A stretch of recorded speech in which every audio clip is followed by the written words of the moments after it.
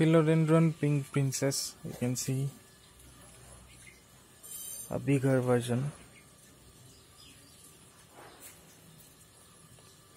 4 feet tall.